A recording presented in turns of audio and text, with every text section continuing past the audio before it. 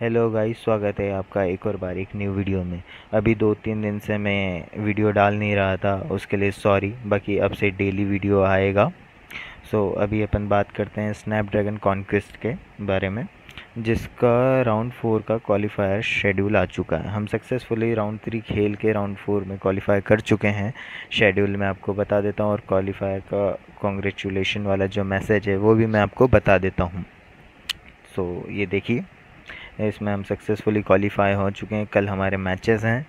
और आपका भी इसी तरह मेल आएगा। आप चेक करते रहना। मेल मैच मिस मत कर देना। बहुत इंपॉर्टेंट मैच है अब यहाँ से। तो बस यही बताने के लिए मैंने आपको बताया था कि राउंड फोर का मेल आ चुका है हमारे पास। तो आपके पास भी जल्द से जल्द आ जाएगा।